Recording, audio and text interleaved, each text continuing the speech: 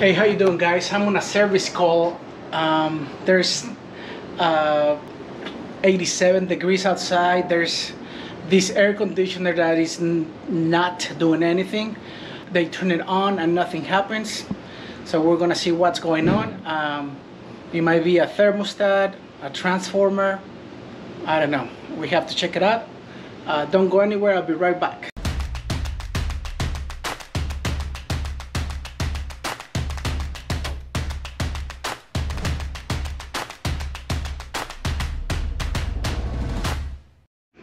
The thermostat doesn't do anything. We put it in fan on and it doesn't do anything. It's in cool so it doesn't do anything. So I can think of three things. The thermostat the 24 volt transformer or um, the fan relay. So the first thing I'm gonna do I'm gonna check the breakers make sure the breakers are on and they're on so once I remove the ceiling tiles, this is what we see. This is the air handler.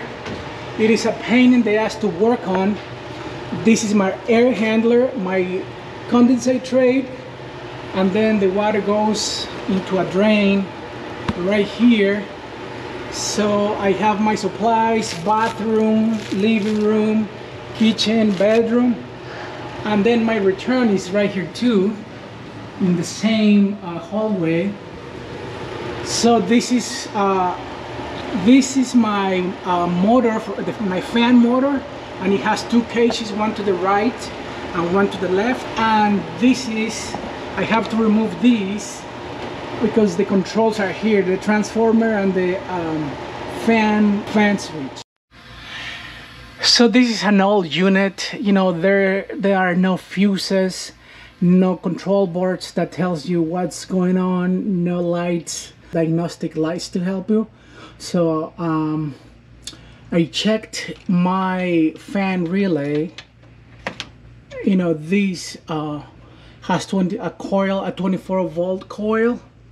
And then it has uh, the the the line side. So when you call for heat uh, this the coil makes and then it sends the power to the fan. I don't have 24 volts to my uh, coil so it's for sure the transformer. So um, we're gonna check uh, for uh, short in the thermostat wire. The wire is going to the thermostat and the wire is going to the condensing unit in the rooftop. Okay guys so I just put a new uh, a new transformer and it burned it right away.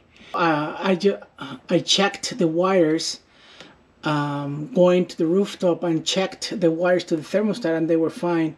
Now I have to check the contactor coil. Sometimes the coil in the contactor it's shorted out.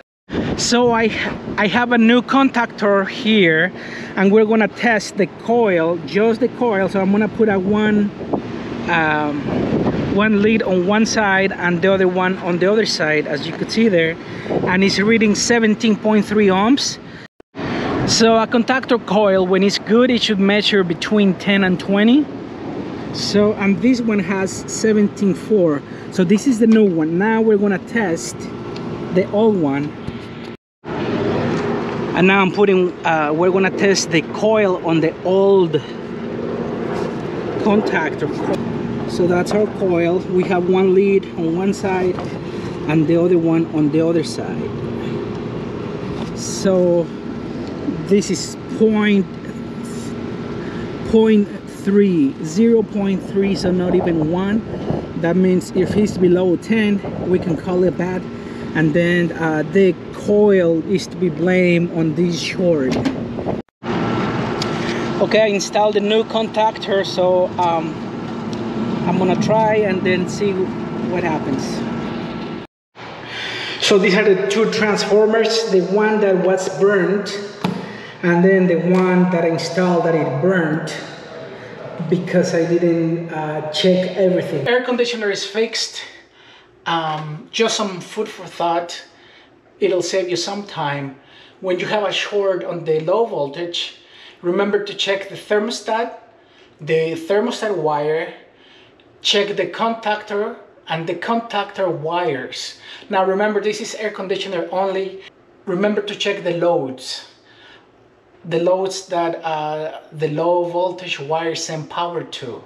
I never seen a contactor coil shorted out. I've seen it that it doesn't work.